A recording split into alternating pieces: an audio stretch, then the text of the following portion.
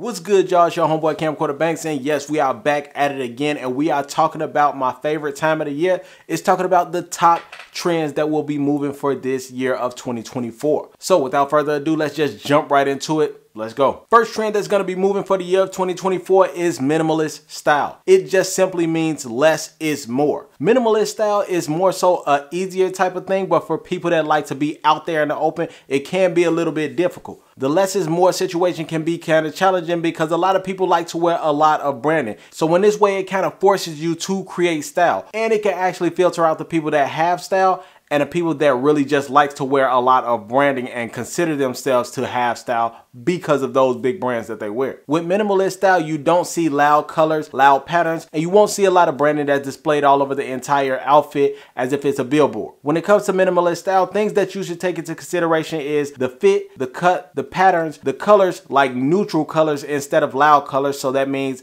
black, brown, white, gray, navy, things of such. And you want to make sure that you are focusing on material as well. So if you want to take on this minimalist style, I think it's going to be a fire challenge for anybody that's in 2024 trying to upgrade their style because again, it forces you again to find a particular style, especially when it comes to being so limited with things that you could wear in order for you to fit the category of being minimalist. Next fashion trend is cropped pieces. Now we've seen it slowly but surely happening about two years ago when everybody started to have a box boxier fit, people started cropping their shirts just to give it a lift and they started adding on extra layers. Not only will you have a layer over a piece that you have, but you will also create layer in length. Now what's crazy about this is a lot of people was against this style because a lot of people was into too much of their masculine way. But a lot of people that's more so into fashion and style was accepting this challenge and they actually brought on some real stylish pieces and now it's being accepted into 2024. So what you're gonna see is a lot of cropped jackets, cropped hoodies, shirts, and even athletic wear, but at the same time, this is going to be something for you to express yourself. If you really do feel like you could take on this challenge, it'd be perfect for you to try it, especially if you're not one of those people that just let your masculinity block your view of actually being stylish. Next fashion trend of 2024 is your botanical wear. This is a lot of the floral pieces that you will be seeing. Now, slowly but surely, this started to grow. You started to see these on a lot of denim wear. You started to see them on jackets as well. And now they're starting to show their face a lot in 2024 as we move into spring. So not only will this be an island type of look. This will be an all around universal look that you can use in the spring, summer, and you could probably push it into the fall as well. But seeing botanical wear is something that's kind of common in fashion anyway. Now it's just being something that's trendier.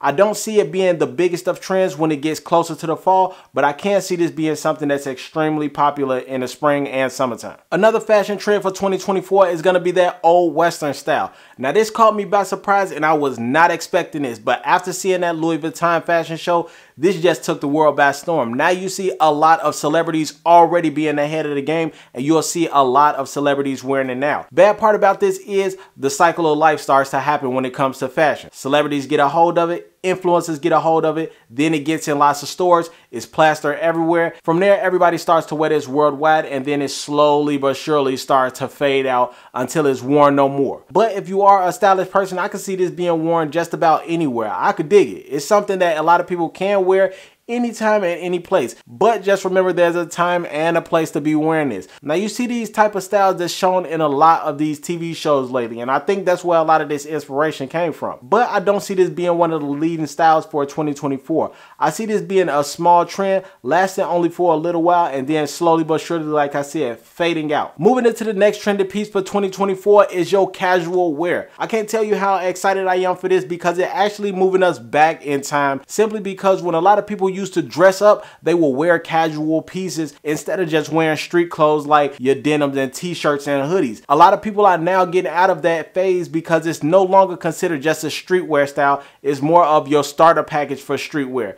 What people are now doing is styling themselves to the nine. They're taking casual pants and putting hoodies with it. Or you'll see people wearing like a fitted cap, a crazy shirt, some nice casual pants, and then have some loafers on. Mixing up the style in between streetwear and casual wear and bring this into a more lifestyle type of outfit. I think this is more fun because it gives people the opportunity to expand their style. This is for the more mature group and the younger generation. You'll see people that's in college or people that's living in their 30s and 40s, they actually using this type of style to mix it up just a little bit because we still have millennials that like to have fun and then you have the newer generation that also likes to have fun with bold colors still wearing hoodies and fitted caps and things like that and mixing it up with this casual style. So now moving forward, you'll see a lot more casual wear that's going to be worn in 2024. All right, y'all, now I just listed out some things that's going to be trending for 2024 when it comes to styling and fashion. This is going to be huge for 2024 because, like I said, this is going to actually force people to style. This actually filters out the people that can really style against the people that just likes to grab brands and wear these and be popularized because of the brands that they buy. But there's no shade to anybody that just like to grab high-end designer piece. You like what you like. But what I am saying is just grabbing high-end designer pieces does not make you a stylish individual. Finding your style and using these pieces, whether it's expensive or inexpensive, and you knowing how to put these pieces together, that's what creates style. So if you're looking forward to maturing and updating your style, this will be the perfect year for doing that. With that being said, I'll catch up with y'all next time. I'm your homeboy Camcorder Banks. I'm out. I'm gone. I'll holla at y'all. Peace.